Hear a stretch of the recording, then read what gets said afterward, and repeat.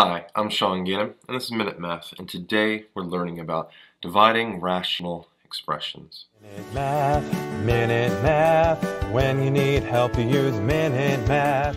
We're given this expression right here, 16n divided by 17 divided by 8n over 6, and we need to simplify this expression. Well, when I have division with fractions here, I like to rewrite this as a multiplication problem. 16n over 17, and we multiply now, and we just flip the second fraction. 6 over 8n now, okay?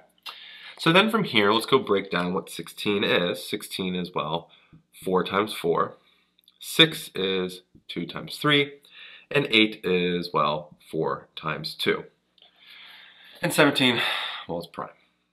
So now let's go see what we can cancel out. And we can keep, some of them I know we can keep breaking down, but if we need to, we'll just, we'll break it down more. But we actually don't need to. This 4 cancels out with this 4. This 2 cancels out with this 2. And what are we left with now? So across we have the numerator. Well, oh, sorry, the n's too. almost forgot the n and the n here. Cancel each other out. So numerator, we have 4 times 3, which is that 12.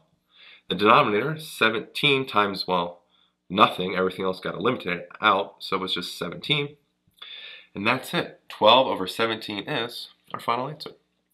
Hope this video was helpful, and if it was, please subscribe to this YouTube channel and like this video. This helps us make more free math lessons for you and for everyone else. So as always, thanks for watching. Minute Math, Minute Math, when you need help you use Minute Math.